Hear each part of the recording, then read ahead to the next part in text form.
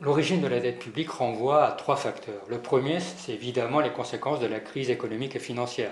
Les États ont dépensé beaucoup, beaucoup d'argent pour euh, refinancer les banques, euh, pour euh, les plans de relance qui ont bloqué la récession, et la récession elle-même a entraîné moins de recettes fiscales. Donc ça, ça explique le gonflement important des déficits publics et de la dette publique depuis 2007-2008. Mais en fait, cette dette publique préexiste bon, à la crise économique et financière.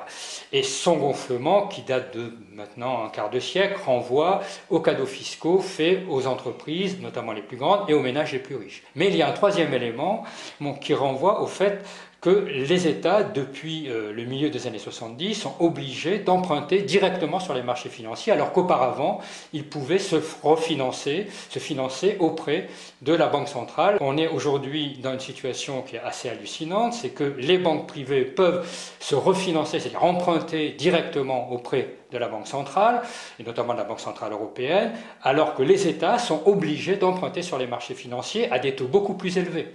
Il faut dire que cette dette publique est triplement illégitime. Elle est triplement illégitime parce qu'elle est le produit bon, de la crise financière dont les possédants sont responsables, du recours aux marchés financiers dont ils participent et des cadeaux fiscaux dont ils ont bénéficié. la première chose, c'est qu'il faut faire un audit, qui soit un audit citoyen, bon, fait par les mouvements sociaux, les syndicats, les associations, pour voir quelle partie de la dette doit être remboursée quelle partie doit être annulée. Le second point, c'est qu'il faut sortir les États et l'Union européenne des mains des marchés financiers et donc permettre le financement des déficits publics par la Banque Centrale Européenne, sous contrôle démocratique évidemment.